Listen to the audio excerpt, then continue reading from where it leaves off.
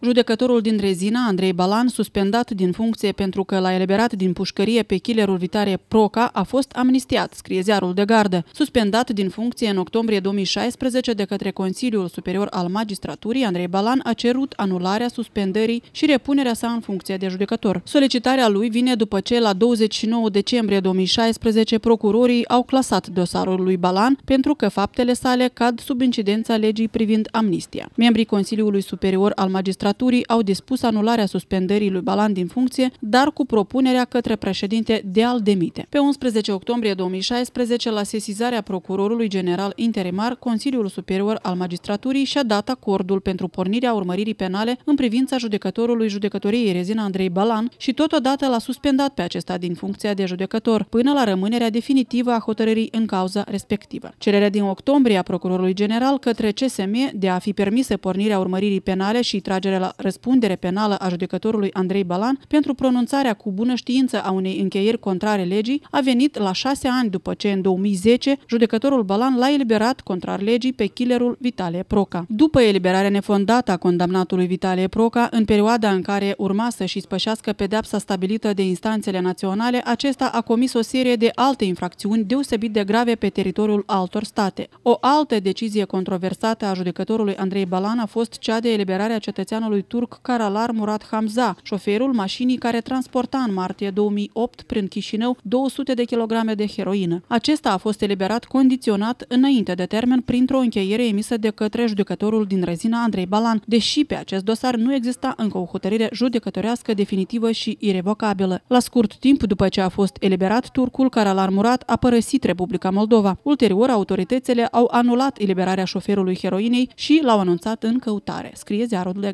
gardă.